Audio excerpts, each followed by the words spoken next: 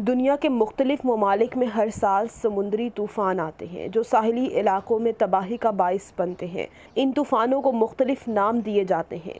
इस वीडियो में आप देखेंगे कि समुद्री तूफ़ान कैसे बनते हैं, कौन से अवामिल समुद्री तूफ़ान का सबब बनते हैं, इनमें कितनी ताकत होती है, समुद्री तूफ़ान की रफ़्तार कितनी होती है, और ये कितनी दूर तक सफ़र करता है। बहिरा अरब में तबाही मचाने वाले तूफ़ान को बिपर जॉय का नाम ही क्यों दिया गया? ये नाम किसने तजवीज़ किया? और ये तूफ़ान कितनी देर तक बरकरार रह सकता है? इससे पहले कितने तूफ़ान आए और उनके क्या क्या नाम थे? ये सब जानने के लिए वीडियो को शुरू से लेकर आखिर तक ज़रूर देखिएगा।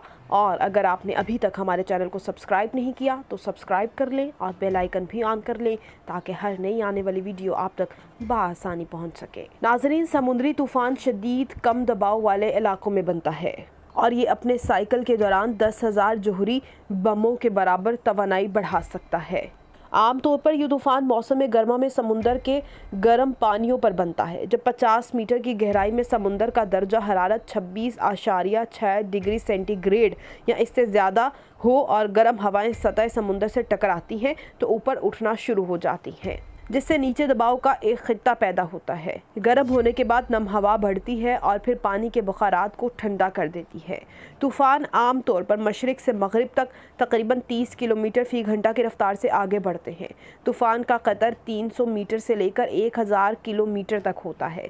सिर्फ़ एक हफ़्ते में ये हज़ारों किलोमीटर सफ़र तय कर सकता है। एक कैटेगरी का तूफ़ान दरख्तों को नीचे ले जा सकता है और बिजली के आर्जी तौर पर कटाव का सबब बन सकता है। एक बार जब वह अंदरून मुल्क या ठंडे पानी के ऊपर मुंतकिल हो जाते हैं तो समुद्री तूफ़ान आखिरकार ख़त्म हो जाता है। अब बात करते हैं बिपर ज्वाई की।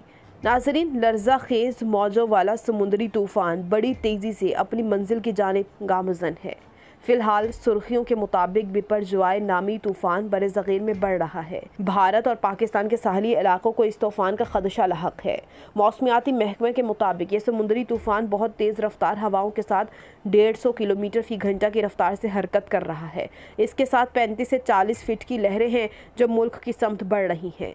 इस तूफ़ान की तबाही का खौफ है और दुनिया में इसकी तस्वीर का जलवा देखने के लिए तूफ़ान के साहिल पर नज़रों के अंबार लगे हैं। वहीं हुकूमत ज़रूरी इकदाम उठा रही है। इसके नाम के हवाले से कई अफराद तजब्जुब का शिकार हैं। कि इसका क्या मतलब है और ये नाम कैसे दिया गया?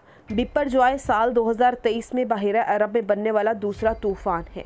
पहला तूफ़ान मोचा था, जो बांग्लादेश से टकराया था। इब्तदाई तौर पर बहरा अरब में गुजशत कई रोज़ तक कुत पकड़ने के बाद बिलाखिर बिपर जवाय छः जून को साइक्लोन में तब्दील हुआ, जिसके बाद उसे ये नाम दिया गया। इस समुद्री तूफ़ान का नाम बांग्लादेश की जानब से तजवीज़ किया गया है, जिसका मतलब आफत है। तूफ़ानों के नाम वर्ल्ड मेट्रोलॉजिकल ऑर्गेनाइजेशन की जानब से जारी हुक्मनामे के तहत रखे जाते हैं, जिसका मकसद एक ही मकाम पर बनने वाले मुतद तूफ़ानों में तफरीक करना है।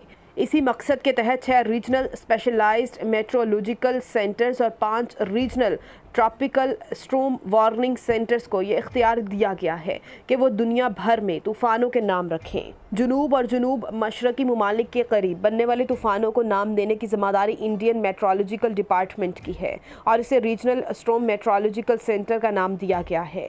इसमें तेरह ममालिक जिनमें Bharat, Bangladesh, Iran, Myanmar, Maldives, Oman, Pakistan, Qatar, Saudi Arab, Sri Lanka, Thailand मुतहदा अरब अमारात और यमन शामिल हैं।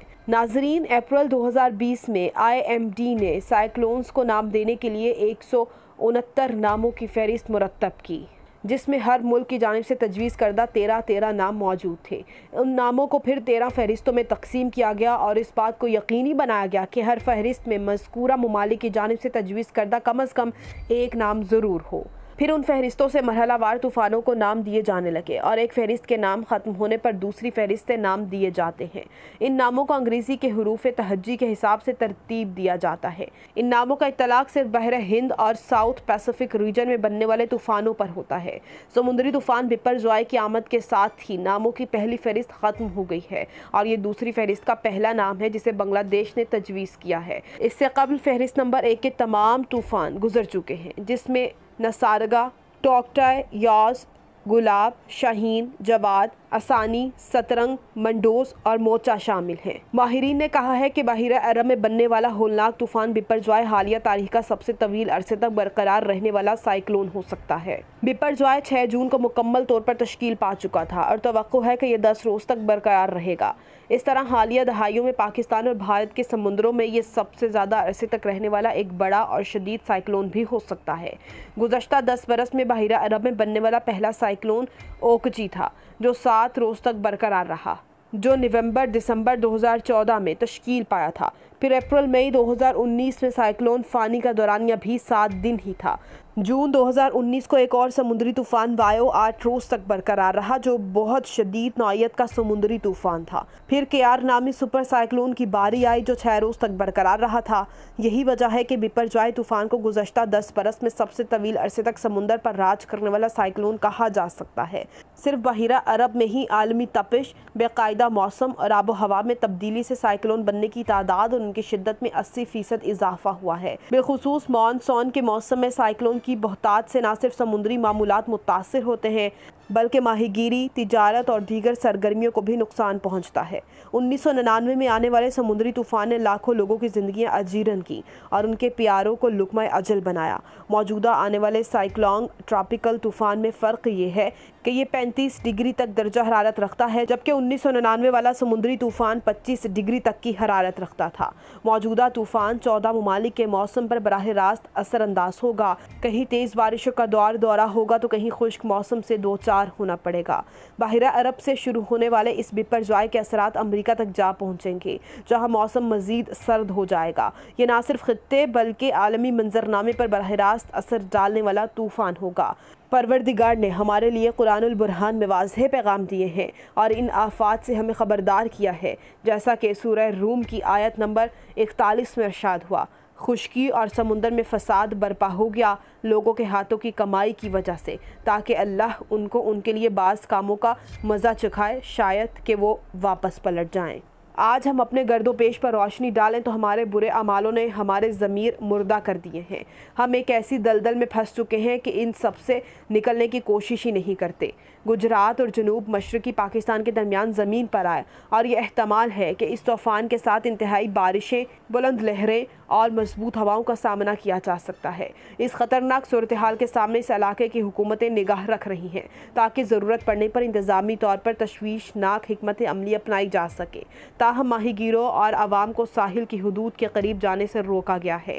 कराची में पाँच सौ बरसाती नालों को कचरा कुंडी में बदल दिया गया है और पिछले पच्चीस साल से सिंध का कोई वारिस नहीं। ना पंद्रह साल से कायम पीपल्स पार्टी की हुकूमत और ना ही इससे पिछली हुकूमतें। अब हमें चाहिए कि आलमी फॉरम्स पर यकजा हों। ये सबको सोचना होगा कि आलमी मौसमियाती तब्दीली समुंदर की लहरों को जिस रफ्तार से जोश तलवा रही हैं, क्या ये तरक्की याफ्ता ममालिक के लिए भी तो तबाही का शाखसाना नहीं? अहम फैसले करने होंगे।